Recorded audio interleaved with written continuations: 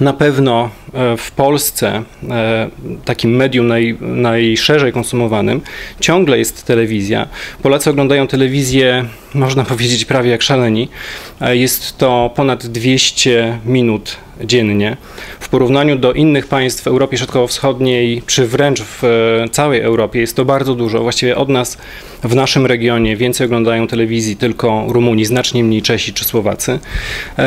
Także na te, na, przed, te, przed ekranem spędzamy bardzo dużo czasu.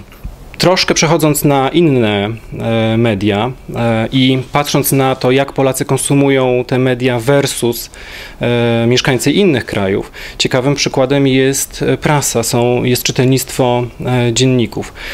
Polacy nie są zbyt nie są fanatykami czytelnictwa, nie czytamy zbyt dużo, zarówno jeśli chodzi o mm, e, dzienniki, magazyny, jak i książki.